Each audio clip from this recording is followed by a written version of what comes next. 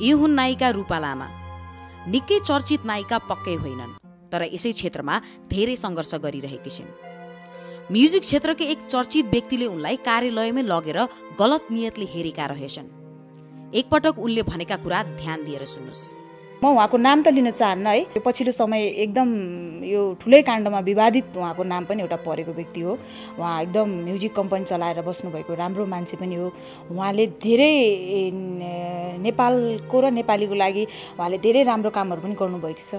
उहाँले नै मलाई कल गरेर म्युजिक भिडियोको लागि अफर गर्नुभयो अनि मलाई बोलाउनु भयो। मेरो अफिस सिनामङ्गल है। म सिनामङ्गलबाट अनामनगर आउँदाखेरि अनि साढे पाँच बजीतिर आइपुग्नु भन्ने भन्नुभयो। म गएँ अनि तिन दिनसम्म मलाई उहाँले लग्गालग बोलाउनु भयो अनि उहाँले ढोका लगाउनु भयो कि? डोर लगाउनु भयो। डोर अनि मैले सर किन ढोका लगाउनु भएको। दुईजना मात्र भित्र छ होइन? यति नराम्रो बिहेभ गरेर म निस्केको छु कि? त्यहाँबाट होइन कति प्रोग्राममा हामी भेट्दा पनि उहाँले मलाई फेस गर्नु भएन। कहिले पनि मलाई हेर्न सक्नु भएन कि? Rupa Lama miss heritage queen Nepal दुई हजार सत्रकी विजेता हुन्। त्यसै प्रतियोगितामा उनले पब्लिक चोइस र बेस्ट पर्सनालिटीको अवार्ड समेत हात पारेकी थिइन्। सन् दुई हजार पन्ध्रमा तामाङ चलचित्रबाट अभिनयमा हात हालेकी रूपा पछिल्लो समय म्युजिक भिडियोहरूमा मोडलिङ गर्दै आएकी छिन्। रूपा लामाले पछिल्लो समय कबड्डी चारकी नायिका मिरुना मगर र दर्शक फुर्बा तामाङ बीचको विवादमा पनि आफ्नो धारणा राखेकी छिन्। मिरुना मगर जो कबड्डी चार चलचित्रको नायिका हुनुहुन्छ उहाँलाई कसैले एक व्यक्तिले एक दर्शकले पछाडिबाट अभद्र तरिकाले छोएछ होला। मेरुनाजी पनि आफ्नो ठाउँमा सही होला। गलत छैन होला। किनकि कोही कसैले कसैलाई ब्याड टच गरेको गुड टच ब्याड टच भन्ने बुझ्ने मान्छेले एक्सन लिनु भनेको राम्रो कुरा हो। र अहिले आएर मिलापत्र भइसके पछाडि पनि फेरि पनि लामा समुदाय अथवा जो भिक्षुहरू हुनुहुन्छ दाजुभाइहरू उहाँहरूले चाहिँ के भन्नुभएको छ यो उहाँको गल्ती छैन। किन यस्तो मिलापत्र गरायो भन्नुभएको छ? आफू पनि एक लामा परिवारकै चेली भएकाले पनि धेरै दर्शकले उनलाई यो विषयमा आफ्नो धारणा राख्न आग्रह गरेका रहेछन्। रूपाले यो विषयमा यसो भन्छन्। अब कोही कसैले अरू हुलमुलमा अरूकै हात परेर उहाँमाथि चाहिँ त्यस्तो गरेर त्यो कुराहरू चाहिँ अहिले चाहिँ आरोप लागेको हो भने चाहिँ उहाँले पनि त्यो गल्ती रिलाइज गरेर आम माफी चाहिँ माग्नुपर्छ है। स्वीकार्नु भयो त्यहाँनिर मिलापत्र भयो। पछि आएर भन्नुभएको छ कि मेरुनाजीको लागि मैले भनौँ न गल्ती गरेको हो भनिदिएँ भन्नु भएको छ कि। उहाँले भनेको कुराहरू सबै सरर सुन्ने हेर्ने हो भने चाहिँ यसमा मेरुनाजीकै गल्ती देखिन्छ। तपाईँले भन्नुभयो अनुसन्धानको क्रममा यो कुरा भनेर। पहिलाको कलाकारलाई हेर्ने नजर अहिलेको कलाकारलाई हेर्ने नजर मान्छेले नै कति डिफ्रेन्टहरू के। पहिला अब यस्तरी सिधै गाली गर्न सक्थेन कति रेस्पेक्ट हुन्थ्यो। अहिले सिधै गाली गरिदिइरहनु भएको हुन्छ। नायिका रूपा लामा हाइलाइटमा आउन नसक्ने अर्को विशेष कारण रहेछ। रूपा केही समय अघि डिप्रेसनको शिकार भएकी रहेछन्। झन्डै मृत्युको मुखमा पुगेको रूपा सुनाउँछिन्। आफै अगाडि बढेर यहाँसम्म आउने मान्छेको लागि पनि यति खतरनाक सिचुएसन क्रिएट भइदियो कि है म डिप्रेसनको शिकार भएँ अनि डिप्रेसनमै गएको हुनसक्ला अथवा उहाँहरूलाई पनि टेन्सन भएको होला।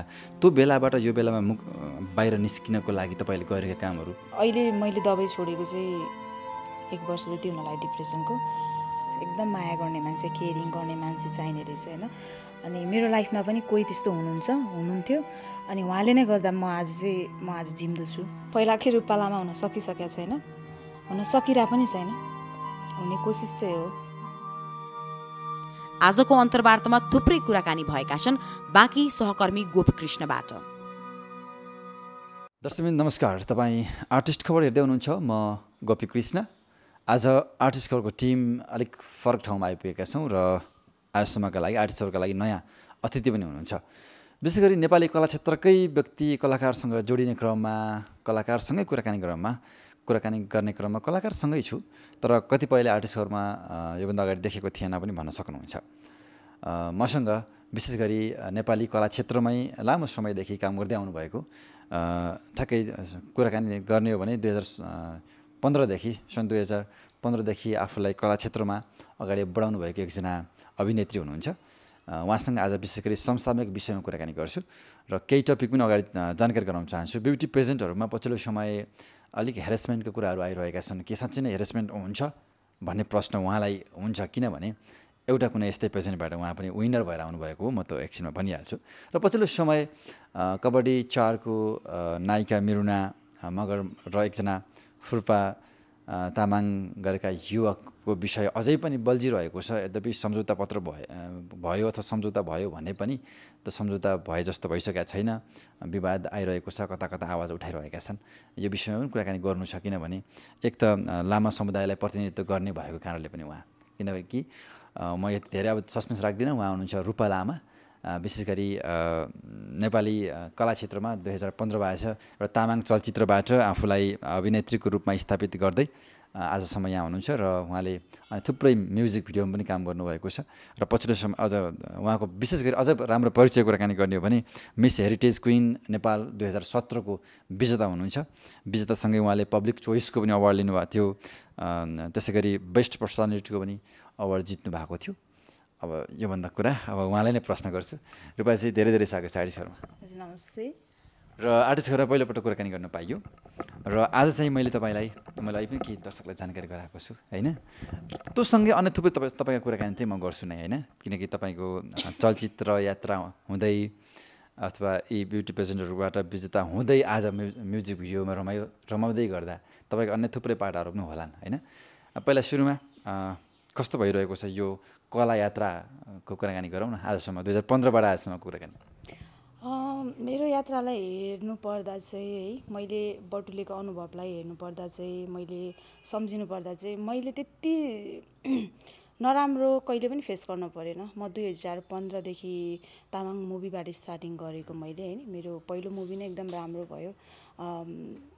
व्यापारिक हिसाबले पनि अनि मुभीको कथा पनि पारिवारिक भएको कारणले मैले त्यो कहिले पनि त्यस्तो कुराहरू फेस गर्न परेन। एकदम राम्रै तरिकाले अगाडि बढेर यहाँसम्म आइपुगेको छु आज। अहिलेसम्म मैले कहिले पनि कन्ट्रोभर्सीहरू खेप्नु परेको छैन। मलाई भने धेरै दर्शकलाई त्यो थाहा पनि छ होला। कतिपयलाई थाहा नभएकाहरूलाई मैले अहिले तपाईँको परिचय पनि दिएँ होइन? अब तपाईँ आज तपाईँको आज हामी आफ्नै तपाईँको आफ्नै निवासमा आएर कुराकानी गर्न पाएका छौँ होइन? हामीले देख्न पनि सक्छौँ मिस हेरिटेज क्विन नेपाल दुई हजार सत्र विजेता भनिरहँदाखेरि यस्तै मिस नेपाल मिस क्विन अथवा मिस तामाङ मिस अरू अरू भनौँ जति पनि ब्युटी ब्युटी पेजेन्टहरू हुन्छ पछिल्लो समय एउटा घटनाले गर्दाखेरि अलि धेरैलाई थाहा भयो। यस्तो खालको कम्पिटिसनमा त बढी हेरेसमेन्टको कुराहरू हुँदो रहेछ आयोजकले ती युवतीहरूमाथि गर्ने नजरहरू त्यस्तो हुँदो रहेछ। कति पीडा हुँदो रहेछ अथवा भित्र सबैलाई यस्तै हुन्छ त सबै खालका कम्पिटिसनमा यस्तै हुन्छ त भन्ने खालको प्रश्न चाहिँ आएको छ कि? तपाईँ त एउटा दुई हजार सत्रदेखि नै भनौँ त्यो बेलामा विजेता भएर आउनु विजेता भनेको धेरै समय त्यहाँभित्र घुलमिल पनि हुनुभयो पछि पनि धेरै देख्नुभयो होला। के थियो खासमा? ठ्याक्कै भनिदिनुहोस् न यो फिल्ड सत्य नै त्यस्तै हुन्छ त जो एकजना रेग्मी बहिनीले जुन आवाज निकाल्नु भएको थियो त्यस्तै खालको फिल्ड हो। मान्छेले आफ्नो तरिकाबाट अगाडि बढ्दै जाँदाखेरि होइन भोग्ने सिचुएसनहरू डिफ्रेन्ट हुनसक्छ। मेरो अवस्थामा चाहिँ कस्तो थियो भने म चाहिँ दुई हजार पन्ध्रदेखि नै कला फिल्डमा आइसकेको मान्छे होइन। हाम्रो पनि तिन महिनाको ट्रेनिङ पिरियड थियो। त्यो पिरियडमा चाहिँ म हाम्रो चाहिँ तिन बजेदेखि हुन्थ्यो है। म चाहिँ बिहान नौ बजे अफिस गएर साढे दुई बजीसम्म आफ्नो कामहरू भ्याएर अनि अफिसदेखि म दरबारमा ट्रेनिङको लागि आउँदाखेरि तिन बजिसक्नु पर्थ्यो। म चाहिँ आफूले त्यसो गरेर टाइम म्यानेज गरेर ट्रेनिङ गरेर विनर भएँ है। अनि दुई मैले दुई वर्ष अगाडि नै यो कला फिल्डमा म आइसकेको भएर मैले त्यो कुराहरू फेस गर्न परेन। अनि उहाँको विषयमा चाहिँ म उहाँको विषयमा चाहिँ भन्नुपर्दा मलाई के लाग्छ भनेपछि उहाँ एक त सानो उमेरको है उहाँले त्यो कुराहरू सबै कुराहरू एज अ इजिली लिनुभयो होला त्यतिखेर बच्चा माइन्ड है के त्यति कुराहरू थाहा भएन होला को मान्छेसँग कसरी फेस गर्ने यो मान्छेको नियत के छ यो मान्छेले के भन्न खोजिरहेछ लाइक गुड टच ब्याड टचहरूको त्यति नलेज नभएर पनि उहाँलाई चाहिँ त्यो मिसबिहेभ भएर अनि यस्तो कुराहरूमा चाहिँ फ्यामिलीले पनि सपोर्ट गर्नुपर्छ कि? पन्ध्र सोह्र वर्षको बच्चालाई तिमी जाऊ तिमीले यस्तो गर उस्तो गर भन्नुभन्दा पनि तिमी कहाँ जाँदैछौ? कोसँग जाँदैछौ? कसको साथमा जा जाँदैछौ होइन? के को लागि जाँदैछौ? भन्ने कुराहरूलाई चाहिँ गार्जेनले पनि एकदम गार्जेन लिडरसिपलाई चाहिँ त्यो स्ट्रङ बनाउनुपर्छ जस्तो लाग्छ कि मलाई? जस्तो यो फिल्डको कुराकानीमा जस्तो एकजना बहिनीले आवाज उठाउनु भयो उहाँलाई मात्रै भएको हुनसक्छ अथवा सबै खालको ती प्रतियोगिताहरूमा सबैलाई सबैका आयोजक त्यस्तै हुन्छन् भन्ने पनि छैन होइन? तपाईँले आफूले भएको कुराकानी गर्नु न। दुई हजार सत्रभन्दा केही महिना अगाडिदेखि गर्नुभयो तपाईँले होइन? कोही न कोही त्यस्ता आयोजक मध्येका कुनै एक त्यस्ता खालका हुन्छन्। अलि आफू पनि हुन त आफूमा भर पर्ने कुरा एउटा भयो। तर पनि उमेरको हकबन्दी हुन्छ नि त त्यहाँनिर होइन? कोही सानो मान्छे हुन्छ उत्तिखेर रियाक्ट गर्न नसक्ने हुन्छन् कोही। आयोजकहरूको नजर चाहिँ कस्तो हुन्छ ठ्याक्कै तपाईँले भएको चाहिँ। मैले चाहिँ त्यस्तो भोग्नु पऱ्यो नि किनभने हाम्रो आयोजकमा चाहिँ जेन्ट्सभन्दा लेडिज धेरै हुनुहुन्थ्यो है। नुवाकोटको एन्जिला तामाङ अनि काभ्रेको शिल्पा तामाङ म्यामहरू उहाँहरू हुनुहुन्थ्यो।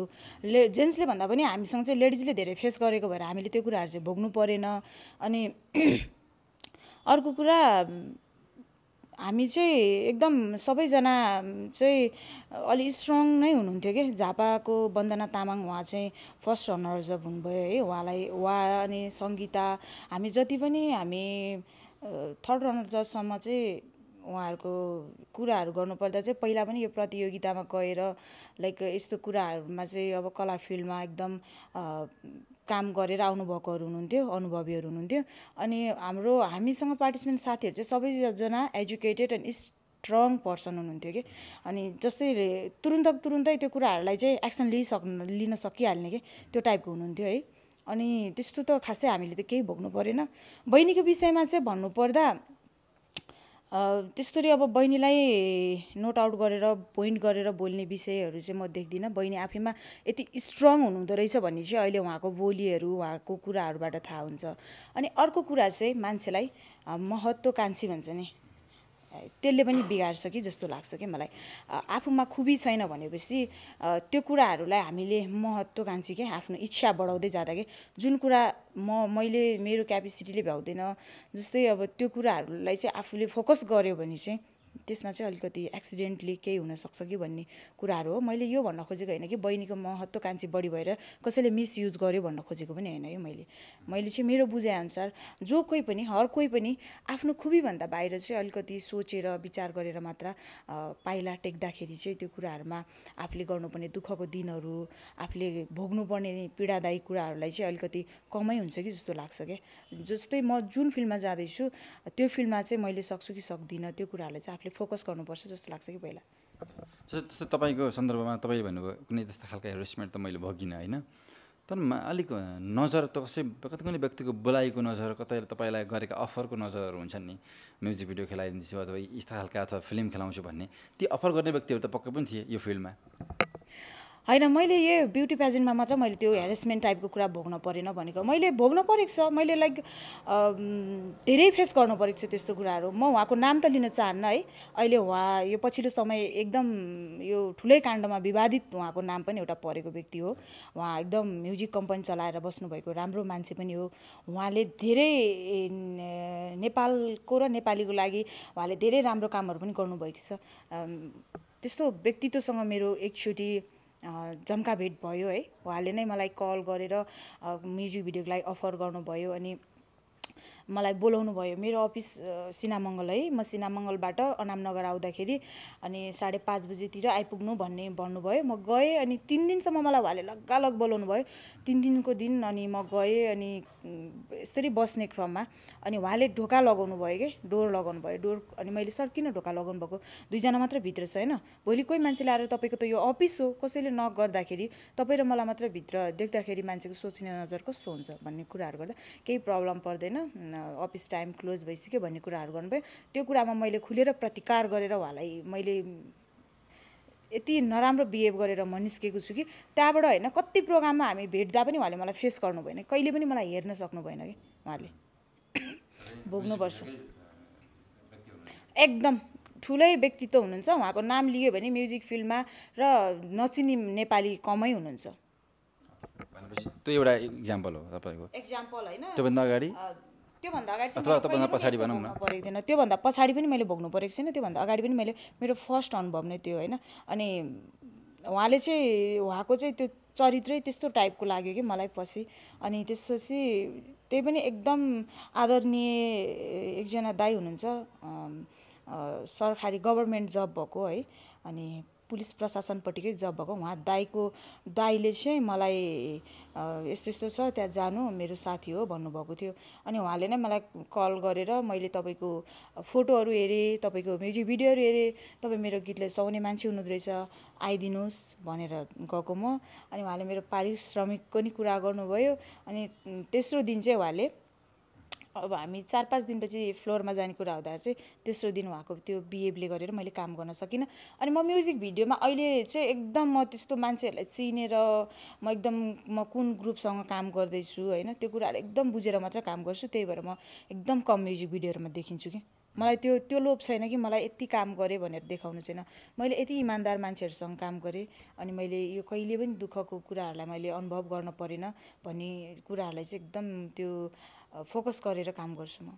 तपाईँले झन्डै पच्चिसवटा जति भनौँ न म्युजिक भिडियोमा काम गर्नुभएको छ होइन? अरू व्यक्तिले त महिनामै पच्चिसवटा गर्छन्। तपाईँको त अब जस्तै दुई हजार पन्ध्रबाट कला क्षेत्रमा भने पनि आजसम्म आउँदाखेरि यतिकै वर्षसम्ममा त्यति मात्रै गरेको। भन्दै गर्दा के यो फिल्डमा अलिक चित्त नबुझेरै कम कम अथवा गर्नुभयो कि अथवा यस्तै खालका अफरहरूले आफूलाई टचर दिइराखेर कम गर्नुभयो कि? खासमा कम गर्नुको कारण के त? किनकि यही फिल्डको लागि आफू समर्पित भइरहँदाखेरि आएका अफरहरू पनि छान्नुको कारण के त? गलत व्यक्तिसँग काम गरेर पछुताउनुभन्दा आठ दस वर्षपछि रुँदै मिडियामा आउनुभन्दा मलाई हेरेसमेन्ट भयो भन्ने कुराहरूले त्यो मेन्टली टर्चर दिएर कुनामा बसेर रुनुभन्दा मैले गरेको कामलाई म प्राउडको साथ होइन गर्वको साथ मैले यो काम गरेको छु भनेर खुलेर बोल्न सकौँ। त्यति भइपुग्छ मलाई। मलाई पच्चिसवटा महिनामै म्युजिक भिडियो गर्नु पनि छैन। मलाई वर्षमा सयवटा म्युजिक भिडियो गर्नु पनि छैन। मैले आफूले गरेको कामलाई मैले काउन्ट गरिरहँदाखेरि मेरो दिमागमा कुनै पनि हेरेसमेन्टको त्यो फ्ल्यासब्याकहरू नआओस् त्यति चाहन्छु। अहिले कम गर्नुको कारण चाहिँ त्यही नै हो त्यसो भए। अलिक जस्तै हतारमा गऱ्यो भने त्यस्तै खालका विभिन्न अफरहरू अथवा विभिन्न ठाउँमा विभिन्न मान्छेसँग भेटिएला भोलि तनाव होला भनेरै छान्नु भयो कि कम गर्नुको कारण ठ्याक्कै के? काम गर्नु कारण यस्तो म आफ्नै काम पनि गर्ने मान्छे है अनि अहिले लकडाउनभन्दा अगाडि टोटली बिजी थिएँ। लकडाउन पछि चाहिँ अहिले फ्री भएँ। तपाईँहरूलाई पनि थाहा छ कतिपय कुराहरू। अब मलाई यसरी क्वेसन गरिरहँदाखेरि म जस्तो मलाई त तपाईँले क्वेसन गर्नु भएन। म जस्तो कलाकारलाई तपाईँले दिनमै तिन चारजना चार पाँचजनालाई इन्टरभ्यू लिइरहनु भएको हुन्छ होइन। धेरैजनासँग इन्टरभ्यू लिइरहँदाको तपाईँको अनुभवहरू पनि होला नि। कति मान्छेहरू ह्यारेसमेन्टमा परिरहनु भएको छ। जस्तै अब यो म्युजिक फिल्ड भनेको चाहिँ सानो एरिया हो ठुलो होइन है। त्यही माथि नेपालको सानो इन्डस्ट्रिजलाई सबैजनाले सबै तरिकाले चिनेको छ। त्यो कुराहरूलाई चाहिँ अनुभव गरेर अगाडि बढ्ने क्रममा चाहिँ धेरै मान्छेहरूको नेचरलाई बुझेर काम गर्दिनँ बरु। सम्झेर फ्ल्यासब्याकमा गएर पछुताउनु छैन कि? यो भन्न खोजेको होइन कि म्युजिक फिल्डको मान्छे सबै गर्छ भन्ने पनि होइन। धेरै राम्रो व्यक्तित्वहरू पनि हुनुहुन्छ। तर दुई चारजना यस्तो मान्छेहरूले गरेर उहाँहरूको गिद्धे नजरले गरेर अहिले पछिल्लो आउने पुस्ताहरूलाई एकदम गाह्रो भइरहेको छ। पहिलाको कलाकारलाई हेर्ने नजर अहिलेको कलाकारलाई हेर्ने नजर मान्छेले नै कति डिफ्रेन्टहरू के। पहिला अब यस्तरी सिधै गाली गर्न सक्थेन कति रेस्पेक्ट हुन्थ्यो। अहिले सिधै गाली गरिदिइरहनु भएको हुन्छ। अस्ति मेरुनाजीको काण्डमा पनि हेर्नु न पहिला कलाकारहरूलाई गरेको गल्तीहरूलाई पनि आम माफी हुन्थ्यो नि। अहिले त्यो पनि छैन। जस्तै अनि हाम्रो कलाकार फिल्डमा आउनुहुने मान्छेहरूलाई पनि आउनुहुने भाइ बहिनी या मेरो पछिल्लो साथीहरूलाई पनि म के भन्न चाहन्छु भने टिभीमा एकछिन देखिनको लागि युट्युबमा पाँच मिनट बज्नुको लागि तपाईँहरू जे गर्न पनि रेडी भएर नआइदिनुहोस् आफूमा क्यापेबल भएर आफूमा एउटा क्यापेसिटी बनाएर आइदिनुहोस् भन्न चाहन्छु कि म। जस्तो जस्तो रूपाजी यो कुराकानी गर्दै गर्दा आफूमा मेन कुरा त आफू बलियो हुनु पऱ्यो होइन? कुनै पनि अहिले हामीले ब्युटी पेजेन्टकै कुराकानी घुमिरहँदाखेरि अथवा कला क्षेत्रकै घुमिरहँदाखेरि आफू बलियो हुनु पऱ्यो अथवा जो अन्डर एजमा हुनुहुन्छ गार्जियनको सपोर्ट लिनु पऱ्यो पछिल्लो समयको मात्रै कुराकानी तपाईँ पनि जोड्नुभयो। कबड्डी चारको कुराकानी मिरुना मगर जो कबड्डी चार चलचित्रको नायिका हुनुहुन्छ उहाँलाई कसैले एक व्यक्तिले एक दर्शकले पछाडिबाट अभद्र तरिकाले छोएछ होइन? उहाँको अनुसार। र छोइसके पछाडि त्यही केही झापडमा हान्नुभयो केही भनाभन भयो अनि पछि प्रहरी समस्या बुझाइदिनु भयो। र अहिले मिलापत्र भइसके पछाडि पनि फेरि पनि लामा समुदाय अथवा जो भिक्षुहरू हुनुहुन्छ दाजुभाइहरू उहाँहरूले चाहिँ के भन्नुभएको छ यो उहाँको गल्ती छैन। किन यस्तो मिलापत्र गरायो भन्नुभएको छ। यद्यपि तपाईँ त्यही विषयमा जोडिएको व्यक्ति त होइन होइन। तर पनि कतिपयका तपाईँलाई पनि तपाईँको पनि आवाज लिइदिनुहोस् भन्ने दर्शक पनि हामीले भेट्यौँ कि होइन? हुन त अब नाममा नामको पछाडि लामा मात्रै जोडिएको कारणले बोल्नै पर्छ भन्ने पनि छैन होइन? तर आफ्नो धारणा दिन चाहनुहुन्छ भने यो विष यो विषयमा बाहिरबाट एक कलाकार भएको हिसाबले हेर्दाखेरि के भन्न चाहनुहुन्छ? अघि तपाईँले भन्नुभयो अन्डर एजको कुरा गर्नुभयो। अन्डर एज मात्र होइन हामी जोसुकै पनि आफ्नो घरबाट निस्किँदा चाहिँ म कहाँ कहाँ जाँदैछु कोसँग जाँदैछु के कामको लागि जाँदैछु भनेर हाम्रो आफ्नो फ्यामिलीलाई सबै कुराहरू क्लियर गरेर गएको चाहिँ सबैको लागि राम्रो हुन्छ। अनि यो विषयमा म बोल्नु पर्दा चाहिँ है मेरो व्यक्तिगत विचार मैले समुदायको नेतृत्व गरेर बोल्न खोजेको होइन। म इभन एउटा कलाकार इभन एउटा केटी र लामा समुदायको मान्छे भएको कारणले चाहिँ म के भन्छु भने होला मेरुनाजी पनि आफ्नो ठाउँमा सही होला गलत छैन होला। किनकि कोही कसैले कसैलाई ब्याड टच गरेको गुड टच ब्याड टच भन्ने बुझ्ने मान्छेले एक्सन लिनु भनेको राम्रो कुरा हो। उहाँले लिनुभयो ठिकै छ। तर त्यो सही हो कि गलत हो भने हामीले देखेको छैन नि त। अहिलेसम्म सबै कुराहरू प्रुभ बाहिर आइसकेको छैन है। उहाँको ठाउँमा उहाँले गर्नुभएको प्रतिकारलाई म सम्मान गर्छु। यदि गलत व्यक्तिलाई गलत तरिकाले उहाँले अब कोही कसैले अरू हुलमुलमा अरूकै हात परेर उहाँमाथि चाहिँ त्यस्तो गरेर त्यो कुराहरू चाहिँ अहिले चाहिँ आरोप लागेको हो भने चाहिँ उहाँले पनि त्यो गल्ती रियलाइज गरेर आम माफी चाहिँ माग्नुपर्छ है। उहाँहरूको कुराहरू मैले पनि बुझिरहेको छु हेरिरहेको छु कति म्यासेजहरू आइरहेछ मलाई पनि बोलिदिनुहोस् भनिदिनुहोस् भनेर। मैले एउटा इभन नारी भएर बुझ्नु पर्दा चाहिँ कोही कसैले पनि कोही कसैलाई त्यसरी ब्याड टच गर्दाखेरि जसको नि रियाक्सन त्यही आउँछ सेम आउँछ है। सायद उहाँको ठाउँमा भए अलिक बढी नै आउँथ्यो होला। अनि यदि गलत मान्छेमाथि उहाँको रियाक्सन परेको हो भने चाहिँ उहाँले माफी माग्नै पर्छ। अब यद्यपि अहिले धरोटीमा रिया हुनुको अर्थ पुरै केस मिलिसके पनि होइन होइन? त्यो अनुसन्धानमै रहेको केस हो। धेरै यो विषयमा बोलिरहने विषय पनि नरहला होइन? यो यो यो भनिरहँदाखेरि अहिले पनि लामो समुदायका अथवा भिचु अथवा नेपाल बौद्ध महासङ्घमा जोडिनुभएका दाजुभाइहरूको चाहिँ आवाज चाहिँ के छ भने त्यहाँनिर झुक्किएर छोइएको हुनसक्छ भन्नुभयो। तर पनि फेरि त्यो सहमतिको बेलामा ती युवकले चाहिँ मैले छोएको हो भन्नुभयो स्वीकार्नुभयो त्यहाँनिर मिलापत्र भयो। पछि आएर भन्नुभएको छ कि मेरुनाथजीको लागि मैले भनौँ न गल्ती गरेको हो भनिदिएँ भनेर भएको छ कि होइन? ठ्याक्कै तपाईँ अब यतापट्टि भाइको नजरबाट हेर्दाखेरि चाहिँ के भन्नुहुन्छ? मैले भाइतिर लगेँ तपाईँलाई। भाइले भनेको कुराहरू सुन्दा चाहिँ मैले पनि हिजो हेरेको थिएँ लाइभहरू पनि आइरहेको थियो है। त्यो कुराहरू हेर्दा चाहिँ यदि भाइ ले गल्ती नै गरेको छैन र उसलाई उसले चाहिँ जबरजस्ती कसैको करियर उसले भनेको अनुसार कसैको करियरको लागि कसैको इज्जतको लागि मलाई यतिसम्म गिरेँ म। यतिसम्म मैले उ गरेर मैले एउटा लामाको चेला भएको कारणले मैले माफी मागेँ भनेर भन्नुभएको छ है। उहाँलाई म एकदम सम्मान स्वरूप उहाँलाई रेस्पेक्ट स्वरूप उहाँलाई म धन्यवाद दिन चाहन्छु किनकि उहाँ एकदम बुझ्ने मान्छे हुनुहुँदो रहेछ। इभन कसैको इज्जत कसैको जिन्दगीसँग उहाँले आफ्नो इज्जतलाई नै नदाजिकन है उहाँले माफी माग्नु नै उहाँको धेरै ठुलो कुरा हो। कोही कसैले पनि आफूले गरेको गल्तीलाई पनि रियलाइज गर्नको लागि धेरै टाइम लाग्छ भनेपछि उहाँले त एकदम ठुलो काम गर्नुभएको नि त ठुलो गुण लगाउनु भएको नि त होइन? अनि उहाँले भनेको कुराहरू सबै सरर सुन्ने हेर्ने हो भने चाहिँ यसमा मेरुनाजीकै गल्ती देखिन्छ। तपाईँले भन्नुभयो अनुसन्धानको क्रममा छ यो कुरा भनेर। अनुसन्धानमा भएको कुराहरूलाई हामीले धेरै बोलिरहन पनि मिल्दैन। हामीले बोलिरहेको कुराले दोस्रो पक्षलाई या पहिलो पक्षलाई ऊर्जा मिलिरहेको हुनसक्छ कि? गलत इन्टेन्सनको मान्छेहरू छ भनेपछि हामीले केही कुरा बोलिरहँदाखेरि ए अब फलानाले यस्तो भनेको छ यो कुरा चाहिँ यस्तो हो भनेर लाग्ने मान्छे पनि हुन्छ नि। त्यही भएर अनुसन्धानमा भएको कुराहरूलाई हामीले धेरै बोल्न मिल्दैन। उहाँहरू आफ्नो ठाउँमा ठिक हुनुहुन्छ आफ्नो ठाउँबाट अगाडि बढ्दै हुनुहुन्छ। यो चाहिँ अनुसन्धान चाहिँ फितलो नहोस् राम्रो तरिकाले अनुसन्धान होस् जसको गल्ती छ उहाँले सजाय पाउनै पर्छ। त्यति भन्न चाहन्छु यो विषयमा। यो विषयमा चाहिँ अब मैले के भने चाहिँ दुई तिन विषयको कुराहरू थियो होइन? अब रूप लामालाई नचिनेका दर्शकको लागि विशेष गरी भनौँ न हाम्रा दर्शकको लागि अथवा केही नचिनेका अथवा यो फिल्ममा कमाइ हेर्ने दर्शकहरूको लागि अहिले पछिल्लो समयको व्यस्तताको कुराकानी गरिदिनुहोस् न। केमा व्यस्त हुनुहुन्छ? अथवा कला क्षेत्रभन्दा बाहेकको कुरा हो भने ओके। म पछिल्लो समय चाहिँ टोटली कामहरू छोडेको मैले लगभग दुई वर्ष भयो। म डिप्रेसनको शिकार भएको थिएँ पछिल्लो समय चाहिँ।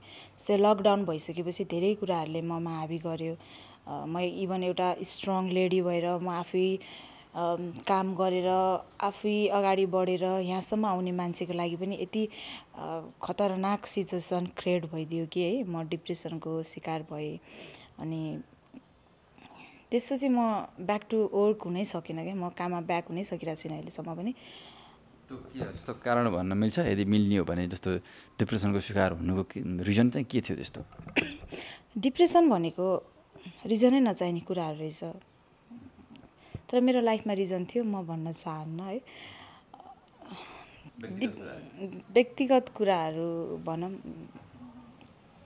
डिप्रेसन हुने चाहिँ त्यो ठुलो कुरा चाहिँ होइन कुनै रोग लुकाउनु पर्छ भनेर त्यो कुराहरूलाई चाहिँ लुकाएर राख्नुपर्छ यस्तो उस्तो। त्यो कुनै पनि कुरा होइन डिप्रेसन चाहिँ आफैमा हुने कुरा हो। जो कोहीलाई पनि भइरहेको हुन्छ डिप्रेसन भनेको होइन। मलाई चाहिँ अलि पर्सनल कारणहरूले भएको थियो। मैले चाहिँ धेरै सोच्ने। अब बिचमा लकडाउन भयो। लकडाउन भएपछि अब काम गरिरहने मान्छेलाई अब त्यो आफ्नो व्यवहारहरू बिग्रिँदै जाँदाखेरि अनि आफ्नो पर्सनल लाइफहरू बिग्रिँदै जाँदाखेरि त्यो कुराहरूले चाहिँ मलाई एकदम गाह्रो भएर डिप्रेसन भएँ। अनि छ सात महिना म दबाई खाएर नै बसेँ। अहिले पछिल्लो समय चाहिँ अलि फ्रेस हुन थालेको आठ नौ महिना भयो। अहिले चाहिँ अब अब केही फेरि ब्याक टु वर्क हुन सक्छु कि भन्ने एउटा आत्मबल बढ्दै गएको छ। हेरौँ के हुन्छ। जस्तो ल ठिक छ। त्यो विषयको कुराकानी हजुरले नभने पनि जस्तो कतिपयलाई कतिपय अहिले पनि हामीले हेर्ने भनौँ न डिप्रेसनमै गएको हुनसक्ला अथवा उहाँहरूलाई पनि टेन्सन भएको होला। त्यो बेलाबाट यो बेलामा मुख बाहिर निस्किनको लागि तपाईँले गरेका कामहरू जसले गर्दा तपाईँलाई त तपाईँको कुराले अरूलाई ऊर्जा मिलोस् अथवा सहज भइदियोस्। के के गर्नुभयो अथवा कस्तो हुन्छ त्यो बेलामा डिप्रेसनमा पुगेपछि चाहिँ सबैभन्दा पहिला आफूलाई बुझ्ने मान्छे चाहिने रहेछ। एकदम माया गर्ने मान्छे केयरिङ गर्ने मान्छे चाहिने रहेछ होइन? अनि मेरो लाइफमा पनि कोही त्यस्तो हुनुहुन्छ हुनुहुन्थ्यो। अनि उहाँले नै गर्दा म आज चाहिँ म आज जिउँदो छु। लाइक भनेपछि कुरा बुझ्नु म कतिसम्म पुगेको थिएँ भनेर है? अनि फ्यामिली सपोर्ट हुनुपर्छ। एकदम यो बेलामा चाहिँ आफूलाई बुझ्ने मान्छे भएन भने त्यो मान्छेको बाँच्ने चान्स एकदम जिरो लेभलको हुन्छ। त्यो बेलामा कसैले साथ दिनु पऱ्यो आफूले आफ्नो आत्मबल अगाडि बनाउनलाई? फेरि ठुलो रो लक्षणहरू देखाएर लाग्ने रोग पनि होइन। सानो सानो कुरालाई चाहिँ नोटिस गरेर यो मान्छेलाई यस्तो भइरहेछ यो मान्छेको मनमा के कुरा छ यो मान्छेलाई के कुराले भित्रभित्र किल गर्दैछ भन्ने कुराहरू चाहिँ बुझ्ने मान्छे चाहिँदो रहेछ कि? हुनुपर्ने रहेछ। आफ्नो आफूलाई आत्मबल बढाउनुको लागि चाहिँ के गर्ने? आफूले आफ्नो आत्मबलै बढाउन नसक्ने रहेछ त्यो त्यो अवस्थामा। त्यो अवस्थामा कतिसम्मको हुन्छ भनेपछि दिमाग भनेको तपाईँको मर्ने मात्र आउँछ कि? डिप्रेसन भनेको चाहिँ अरूलाई हार्म गर्नुभन्दा नि आफूले आफूलाई हार्म गर्नेपट्टि चाहिँ बढी मान्छेले फोकस गर्दो रहेछ कि? र आज चाहिँ अहिलेको समयमा चाहिँ भनेपछि पहिलाकै रूपा लामा भइसक्नु भएको छ। कि हुनु बाँकी छ? छैन म पहिलाकै रूपा लामा हुन सकिसकेको छैन। हुन सकिरह पनि छैन। हुने कोसिस चाहिँ हो। मलाई फेरि मेरो पहिलाकै कामहरूमा फर्केर जान मन छ। मलाई पहिलाको जस्तै रूपालामा बन्न मन छ। म कति स्टेज प्रोग्राम गरेर हिँड्ने। म आफ्नो कामलाई कति डेडिकेट गरेर काम गर्ने मान्छे। आज यो दिन फेस गरिरहन पर्दाखेरि आफूले आफूलाई चाहिँ कति बिगारेछु कति आफूले आफूलाई कति बिरामी बनाएछु किन यस्तो भयो होला भन्ने कुराहरूले अहिले पनि धेरै गाह्रो हुन्छ। अहिले मैले दबाई छोडेको चाहिँ एक वर्ष जति लाग्यो डिप्रेसनको त्यो पिरियडमा चाहिँ धेरै कुराहरू अनुभव गरेँ। अनि त्यो कुराहरू अनुभव गरिरहँदाखेरि आज फेरि जिउनु पर्दो रहेछ। यस गरेर देखाउनु पर्ने रहेछ समाजलाई भन्ने कुराहरू चाहिँ लाग्छ मनमा। अनि यसको चाहिँ कुनै लक्षण देखाएर हुने कुरा होइन कि। यो कोही कसैले बुझ्नै सक्दैन कि आफूलाई यति माया गर्ने यति केयर गर्ने मान्छे मात्र हुनुपर्छ कि। नत्र यो एज अ नर्मल हुन्छ नि छोराछोरी कहाँ गयो के गर्यो के खायो कस्तो छ उसको अवस्था भनेर नबुझ्ने फ्यामिलीको लागि चाहिँ धेरै गाह्रो हुन्छ। यो रोगबाट मेरो बच्चा गुज्रिँदैछ मेरो एज अ गर्लफ्रेन्ड गुज्रिँदैछ एज मेरो दिदी बहिनी गुज्रिँदैछ मेरो छोराछोरी गुज्रिँदैछ भन्ने कुराहरू चाहिँ थाहा पाउनको लागि एकदम गाह्रो हुन्छ। तपाईँ भने जस्तै डिप्रेसन कसै कुनै आफ्नो जीवनमा कुनै वज्रपात पऱ्यो कुनै बढी सोचाइमा पऱ्यो होइन? बढी सोचियो त्यस्तो खालको अलिक बढी नोक्सान आफ्नो जीवनमा कतै न कतैबाट परेको चिजलाई बढी सोचियो भने पर्ने गयो होइन? अथवा कुनै साधारण व्यक्ति रमाइरहेको व्यक्तिले त एकैचोटि डिप्रेसनमा त गएन। कुनै आफूलाई टेन्सन भएर नै गयो। त्योभन्दा पनि कतिखेर पुग्छ भन्ने चाहिँ थाहा नहुँदो रहेछ। कसरी पुग्छ भन्ने थाहा नहुँदो रहेछ। पुगिसकेपछि मात्र आफूले पनि फिल गर्न सक्दैन कि। मलाई के भइरहेछ भन्ने नै थाहा हुँदैन। कुरो चाहिँ म एक्लो फिल म एक्लो छु मेरो लागि कोही छैन। मलाई कसैले माया गर्दैन रहेछ। म किन बाँच्ने? बरु मरिदिन्छु भन्ने टाइपको एउटा सोचाइ आउँछ कि? त्यस्तो कुराहरूले मात्र माइन्डमा बढी फोकस गर्छ। अनि त्यो अवस्थामा चाहिँ कस्तो हुन्छ भनेपछि आफूले आफूलाई मात्र पाउँछ क्या आफ्नो वरिपरि आफ्नो अगाडि कोही पनि पाउँदैन। लाइक मेरो साथीभाइ बुवा आमा दाजुभाइ कोही देख्दैन समाज न मलाई इज्जतको डर हुन्छ। केही कुराको नि हुँदैन कि। म जस्तै अब म बाँचेर केही अर्थै छैन। म बाँच्नुको अर्थै छैन भन्ने कुराहरू फोकस हुन्छ अनि मैले यस्तो गर्न चाहेको थिएँ यो कुरै भएन यो कुरा नभएपछि म किन बाँच्ने? त्यस्तै कुराहरूले बढी दिमागमा दिमागमा त्यस्तै कुराहरूले बढी टचर दिन्छ नि त्यो कुराहरू बिस्तारै व्यवहारमा उत्रिँदै जाँदाखेरि चाहिँ आफूले आफूलाई नै सुसाइड गर्ने अवस्थामा पुऱ्याउँछ कि। तपाईँले चाहिँ त्यही सोच्नुभयो आफूले आफूलाई भनौँ न म आफ म मेरो ज्यान त्याग्छु भन्ने चाहिँ सोचाइ आयो।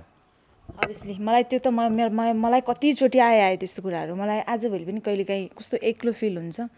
कहिलेकाहीँ म त्यही अवस्थामा पुग्छु कि भन्ने मलाई डर लाग्छ। म सोध्छु अहिले पनि होइन?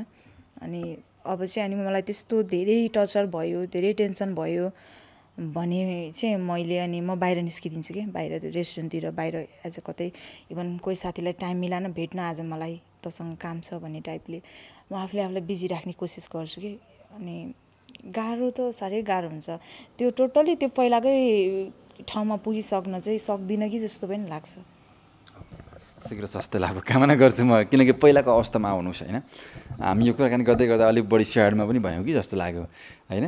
र अन्तिम अन्तिममा पनि छौँ रूपाजी होइन? किनकि गीत मैले विशेष गरी कला क्षेत्रमा चलेका गतिविधिहरूको तपाईँको पनि राय लिन खोजेको हुँ र आजबाट हाम्रा दर्शकले अझ बढी रूपाजीलाई चिन्ने मौका पाउनुभएको अवश्य पनि छ। र हाम्रो आशा अझ धेरै म्युजिक भिडियोमा अथवा बढी कला क्षेत्रकै गतिविधिहरूमा देखिनुहोस् आफूलाई त्यसमा बिजी गराउनुहोस् भन्न चाहन्छु। अन्तिममा केही छ मैले तपाईँलाई सोध्न नसकेका अथवा बिर्सेका तपाईँले आफ्नो दर्शकलाई केही भन्नुपर्ने? सबै कुरा सोधिसक्नुभयो जस्तो लाग्छ। त्यही माथि म बिर्सिरहन्छु अब। मैले त बिर्स्यो होला अरे कि। म दर्शकप्रतिको माया है उहाँहरूप्रतिको सम्मान सधैँ रहिरहनेछ। अनि आर्टिस्ट खबरलाई धेरै धेरै धन्यवाद। आज मेरो घरसम्म आएर मेरो मनको कुराहरू राख्ने मौका दिनुभयो। अहिलेको सांसारिक विषयहरूलाई उठाएर कुराहरू गर्न पाएँ है। विशेष एक व्यक्तिलाई धन्य धन्यवाद दिन चाहन्छु। कुनै दिन म कुनै डिप्रेसनको शिकार भइरहँदा मैले त्यो कुराहरू फेस गरिरहँदा मेरो आज म जिम्दो नै उहाँको कारणले छु होइन? उहाँलाई चाहिँ धेरै धेरै धन्यवाद दिन चाहन्छु आर्टिस्ट खबरको तर्फबाट। अनि उहाँ सायद उहाँ मेरो लाइफमा त्यतिखेर उहाँले मलाई त्यो भूमिका नखेलिदिनु भए न नखेलिदिनु भएको भए आज म आज म यसरी दर्शक सामु हुन्थेन होला। अहिले हेरिरहनु भएको छ हामीलाई। होइन? हेरिरहनु भएको छ होला हेरिरहनु भएको छैन भने नि हेर्नु होला। कोही कसैले भाषामा पुऱ्याइदिनु होला। भन्नु खोजेको जस्तो तपाईँलाई आज यहाँसम्म ल्याउनुमा भनेको तपाईँले बार बार भनिरहनु भएको छ होइन? तपाईँको जीवन नै उहाँ उहाँ नै हो भने जस्तो किनकि उहाँले नै तपाईँलाई यहाँसम्म ल्याइसके पछाडि अथवा म हुन्थेन होला म मर्थेँ होला भन्नुको अर्थ यति धेरै योगदान छ उहाँलाई यहाँ ल्याउनुमा। र मैले यो भनिरहँदाखेरि यो हेर्नुहुन्छ नि यो भिडियो भन्नुहुँदाखेरि तपाईँसँगै सम्पर्कमा त हुनुहुन्छ नि भनेर भन्न खोजेँ क्या मैले। जीवनको कुनै एक पार्ट हो उहाँ त्यसो भए म उहाँको जीवनको पार्ट नभए नि मेरो जीवनको पार्ट चाहिँ उहाँ हो। किन भनेपछि मलाई यो सिचुएसनमा आज आएर म यसरी स्ट्रङली कुरा गर्न सक्नु फेरि ब्याक टु लाइफ म जोइन गर्छु भन्नु चाहिँ उहाँको धेरै हात छ। उहाँ मेरो लागि एज अ मेरो गार्जेनसिप होइन सधैँ भइरहनेछ। उहाँलाई मैले यति सम्झिनुको कारण चाहिँ कोही कसैले पनि डिप्रेसनमा पुगेको एज अ सुसाइड गर्न खोज्ने मान्छेलाई हाम्रो समाजले हेर्ने नजरै गलत छ क्या अब फलानाको छोरीले त यस्तो गरेछ पक्कै पनि को केटासँग के भएको थियो? पक्कै पनि यसले केही बिगाऱ्यो अनि मर्न लागि। सिधै यही भन्नुहुन्छ क्या हाम्रो समाजले। अहिलेसम्म पनि कसैलाई बिचरा उसको मनमा के थियो के भइरहेको थियो? उसलाई उसले कुन अवस्थाबाट गुज्रिरहेको थियो? त्यो बुझ्नै चाहँदैन कि? सिधै उसलाई डाइरेक्टली जज गरेर आफै निर्णायक बनेर निर्णय निकालिदिनुहुन्छ क्या? त्यो अवस्थामा बुझ्ने मान्छे नभएको भए म सुसाइड गर्थेँ। सबैको मान्छेको जिन्दगीमा एकजना चाहिँ यस्तो मान्छे हुँदो रहेछ कि विशेष व्यक्ति कि कहिले पनि भुल्न नसक्ने कि मेरो जिन्दगी चाहिँ त्यो व्यक्तित्व उहाँ हुनुहुन्छ कि इभन मेरो फ्यामिली पनि टोटल्ली मेरो फ्यामिली पनि सपोर्टमै हो। तर भए पनि त्यतिखेर आफ्नो फ्यामिलीले बुझ्न नसकेको कुराहरू आफ्नो साथीभाइले बुझ्नु सपोर्ट गर्नु अनि तिमी चाहिँ यस्तो मान्छे हो यो तरिकाले तिमीले यो गर भनेर ट्रिट गर्नु चाहिँ धेरै इम्पोर्टेन्ट हो। आफ्नो हरेक कुराहरू छोडेर हरेक कामहरू छोडेर त्यतिखेर मलाई टाइम दिनु मेरो लागि फोकस हुनु भनेको धेरै नट जोक के? कोही कसैले पनि कोही कसैको लागि गर्नु सक्दैन कि? त्यही भएर मेरो लागि चाहिँ लाइफ टाइमसम्म उहाँ चाहिँ भए साथमा नभए यादमा भन्छ नि। मतलब धेरै इम्पोर्टेन्ट व्यक्ति हो। मेरो लागि चाहिँ लाइफ टाइम म चाहिँ उहाँलाई कहिले पनि बिर्सिन सक्दिनँ। हस् उहाँलाई पनि धेरै धेरै धन्यवाद दिन चाहन्छु हामी यहाँबाट। कुनै दिन चिन्ने मौका अवश्य पनि पाउँला होइन? र मिल्ने समय भएछ भने भोलिपर्सि दर्शकलाई देखाउँला एक दिन। हस् समयका लागि तपाईँलाई धेरै धेरै धन्यवाद दिन चाहन्छु। हस् थ्याङ्क यू